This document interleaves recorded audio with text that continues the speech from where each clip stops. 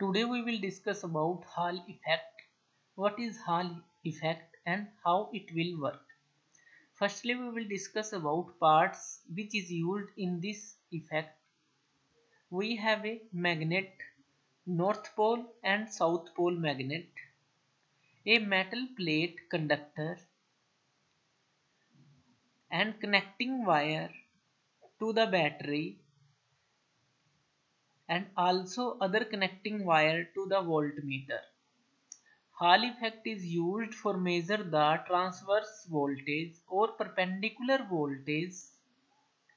So let's see the working of Hall effect. What will happen?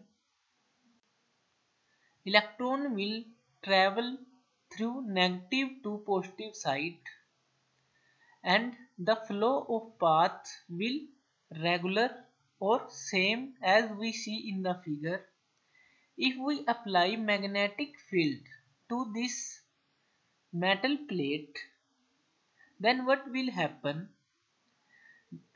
Magnetic field drift the electrons and a electron layer will be formed on the upper side because of magnetic field and on the other side there will be holes layer which will be balance the this electron layer effect. And so a potential difference is created on the plate in the perpendicular direction of the magnetic field. And if voltmeter shows the reading of the potential difference or current flowing through the plate.